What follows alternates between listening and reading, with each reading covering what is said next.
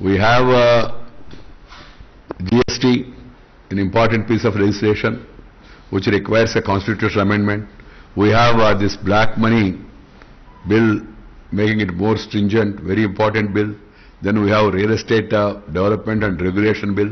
Then we have uh, this uh, land uh, fair compensation and rehabilitation acquisition bill. Then we have the scheduled caste amendment bill.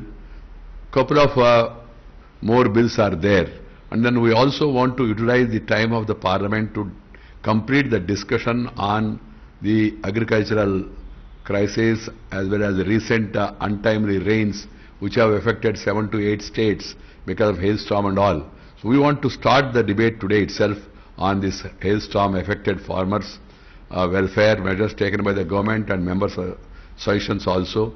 And then we'll be taking up a statement by the Ministry of External Affairs with regard to the evacuation efforts made in Yemen in the backdrop of the recent crisis there.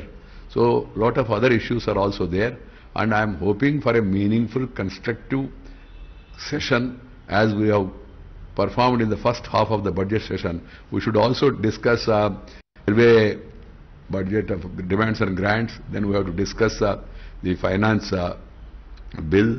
We need to discuss demands for grants of various ministries. All of them has to be approved by the end of the month. So we have a good agenda before us and I am appealing to all political parties.